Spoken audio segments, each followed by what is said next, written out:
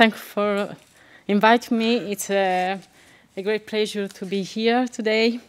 And I'm going to give an insight into the difficult process of reckoning with colonial legacy um, that the Pigorini Museum has, um, is going through.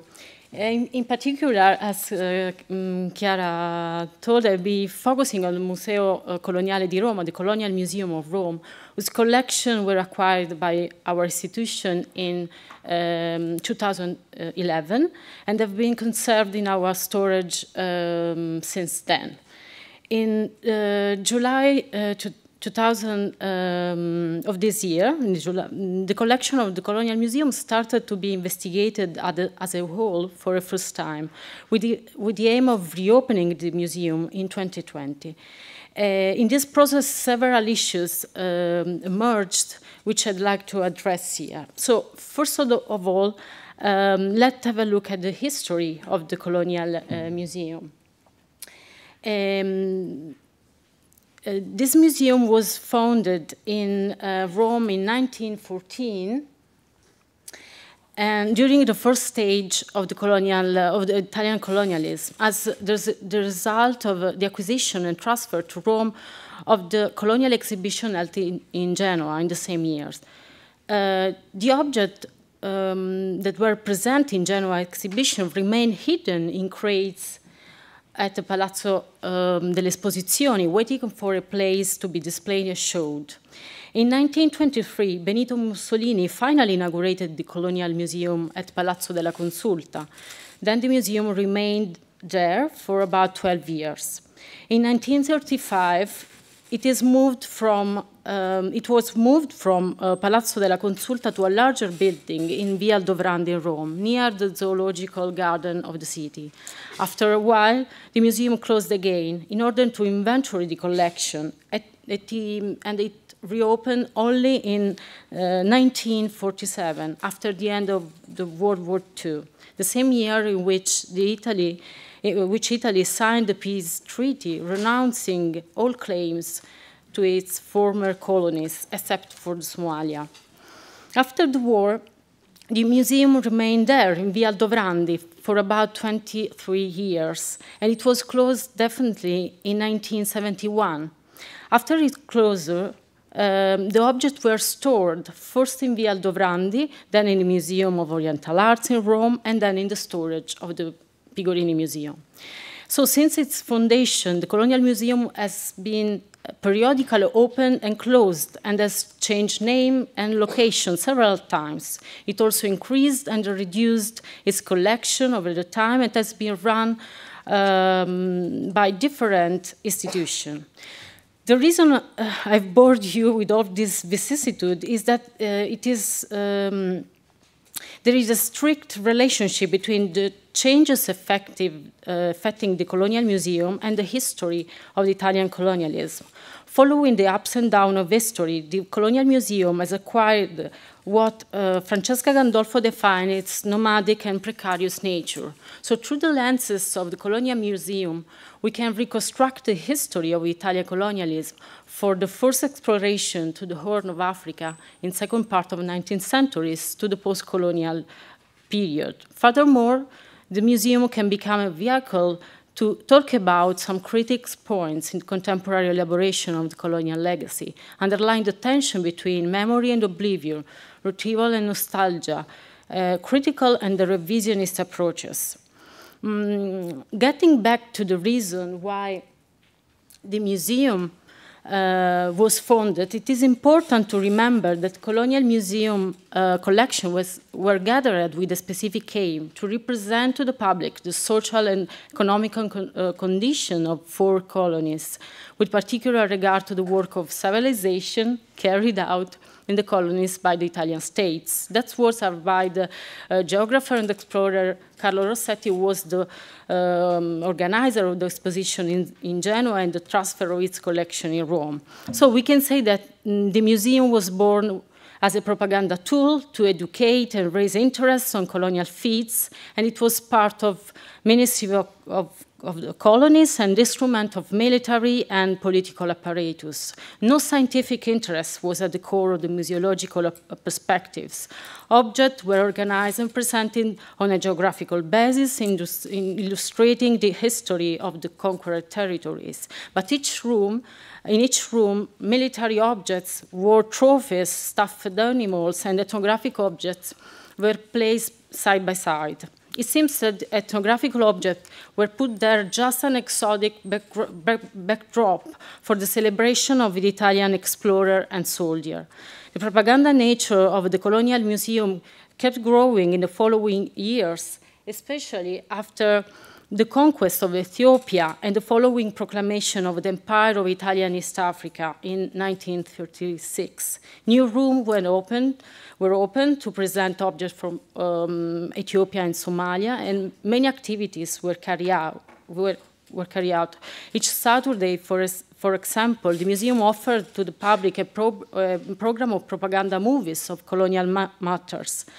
Moreover, for the museum surveillance, 20 askari were hired, representing an additional reason to visit the museum. All these ele elements are not surprising after all. We can find them in quite old colonial museums uh, all around Europe. Mm, but what is the most striking is that is the museum life after the end of the World War II. So the main, the main question is why to reopen the Colonial Museum? Um, after the end of fascist regime and the loss of colonial empire, what was the function of such a museum? The reason for this lay in the fact that Italy didn't go through uh, a real process of decolonizations and rethinking of the colonial past in the post-war war. As some scholars have pointed out, at the end of, um, of the war, to build a new nation, the ruling classes uh, on, of the new Italian Republic needed to emphasize their own distance from the fascist regime without coming to terms with its legacy. And at, at the same time, the new Democratic Republic wasn't able to cut, cut off effectively its ties with fascism. As a consequence, in the post-war public debate, colonialism was perceived as, something concluded, a brave uh, interlude in the national history, and no process of elaboration on the colonial experience occurred. Uh, this political background influenced uh, other sectors of the cultural academy. Um, and until the latter part of the 20th century, Italy's colonial past was a largely neglected topic in historical studies. Only in the 70s, for the first time, a new generation of historians began to study the Italian colonialism in order to deconstruct positive myth and perception, shedding a light on the violence, the use of chemical uh, weapons and detention camps, and so on. So, um, despite the fact that since the 70s mass research has been carried out, in Italy the narrative of colonial past lacked discursive unity and moral certainty, and the rawness of its legacy is still under negotiation, as some scholars have pointed out, talking about other countries. This appears clear when we turn our attention to the construction of the memorial, of a memorial to one of the most cruel protagonists of Italian colonialism, uh, in August um, um, uh, 20, uh, sorry, in August um, 2012, the Major Affile, a town not far from Rome, from Rome inaugurated a mausoleum dedica dedicated to the memory of fascist um, Rodolfo Graziani in a park of the town. Graziani played an important role in the expansion, in the expansion of Italian empire during the uh, 20th and uh, 30, first in Libya and then in Ethiopia. And the erection of the memorial to Graziani has been followed by critics, discussion, and contestation, and has been denounced by part of the, uh, the civil society. And recently, the major was uh, charged with um, apology of fascism and sentences to prison. But in, in general, media attention to violence of massacres committed by Graziani in the colony colonies was rather marginal, and the discussion on mainstream newspaper revolves more around Graziani the fascist than on Graziani the colonial war cr criminal. In mid-September um, 2012, one month after its inauguration, a protest took place uh, over Graziani monument. A bunch of people wrote some comments on the wall, such as, the man you call hero is just a murder. One month uh, after, another protest took place. Six, six cardboard appeared hanging from the Graziani mausoleum. On the cardboard where there were lists of col colonial crimes committed by Graziani. So in this context, to simplify, we have different interpretation of Graziani figures. A revisionist major that consider Graziani a great, great mili military leader, and uh, two anonymous protests that point a finger on the colonial crimes, and that seems to be a, a form of grassroots recontextualization that reframed the colonial legacy impersonated by Graziani. So that there is a constant negotiation around the nature of Italian colonialism. And uh, mm, it, it, it, this topic uh, has, um, has, has, emerged in different, different times in Italy. So let's have a look at some example. Um, why are so many fascist monuments still standing in Italy? That was the title of an article uh, came out on the New Yorker uh, by Ruth Ben-Ghiat. Um, she stated that Italians are co comfortable with living amid fascist symbols that, from her point of view, are tangible reminders of the uncomfortable memory. Uh, one of the monuments uh, that Ben-Ghiat described as a relic of abhorrent fascist aggression is the Palazzo Civiltà, built in our neighborhood in, in the 30s. And uh, she denounced the, the, phrases engraved on the exterior of the Palazzo della Civiltà, a phrases from Mussolini's speech announcing the invasion of Ethiopia, in which he described Italians as people of poets, artists, heroes, saints, thinkers, scientists, and so on. Um, many times a debate on the opportunity to destroy or maintain the symbol of the fascism and its monument has emerged.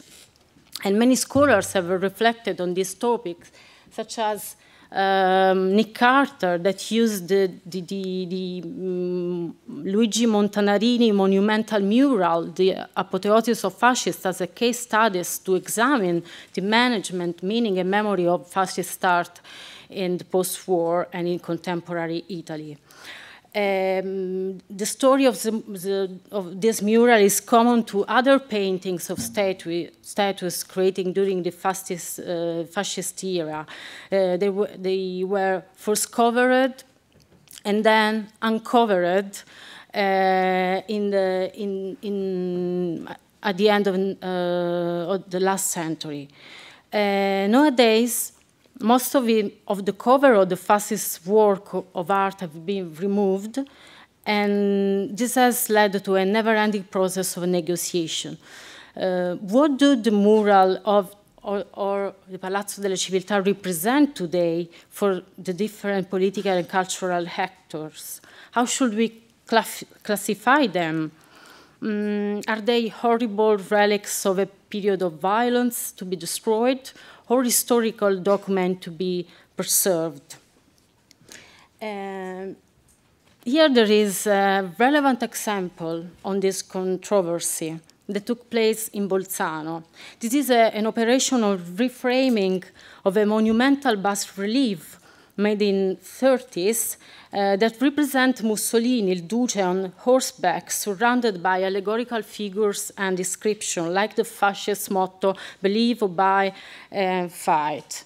In 2011, uh, after decades of controversy, um, over the preservation or destruction of the mon monument, a solution was finally reached. It was decided that most of the contested sign of the fascists of the province of Bolzano would include explanatory uh, intervention of its history. So it was announced the competition for ideas, and the winner proposal was uh, re re realized and inaugurated two weeks ago. The intervention includes a quote by Hannah Arendt that can be read on the um, that is uh, the this one, uh, no one has the right to obey.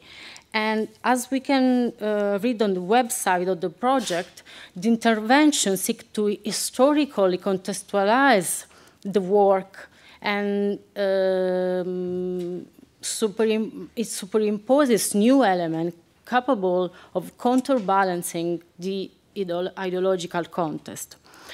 This case uh, this case history opened up a key question, how to transform a contested heritage in a place of memory. So going back to the collection of colonial museums, some urgent questions have emerged related to the tangible evidence of the colonial legacy. How can we reconstruct the uncomfortable memory represented by the colonial museum collection that are strictly linked to the Italian fascist regime and to the colonial oppression and domination. My first reflection concerned the necessity to embrace an historical perspective in order to highlight the historical processes that were at the heart of the Italian colonialism and gave rise to the Colonial Museum. Thus, uh, one of the first aims would be to create a critical framework based on, uh, on the archival documents to show the ideological narratives incorporated in this history of the museum and the objects that are part of it. This historical framework has to be accompanied by ethnographic perspective to make it possible the emergence of different voices and interpretation, historical documentation, oral history, and ethnographic research on contemporary perception on colonialism will be the base of, um, of, um, for a work of reframing of collection. Mm, these methodologies are power, powerful way to inquiry into memory lapses to start a process of cultural elaboration of the past, to go further the institutional discourses, questioning the form of self-representation and underlying the frictions between normative levels and individual strategies. This historical perspective will be help, also to merge and show other corpus of documents related to the Colonial Museum, now disseminated in the city of Rome in different institutions. For example, books and photographs at the National Library of Rome, historical archive at the Ministry of Foreign Affairs. Many scholars have stressed the difficulty of assessing the archives and documents related to the Italian uh, history. Um, so the simple act of displaying an item, uh, a, a, document, an object, um, acquire a, a, strong symbolical meanings. So um, I'm going to conclude. Uh, the, there were a lot of things to say, but sorry. Uh, but the, um, so, the, the, in my opinion, uh, Pigorini Museum must accept the challenge uh, of uh, uh, reactivating the multiple meanings of this object and, reconstructed their problematic biography. And in doing so, uh, the challenge is, uh, is to turn colonial museum in a meta-museum of the colonial legacy by creating new narratives of, of the objects and at the same time discuss part and present exhibition practices as part of the exhibition. Thank you.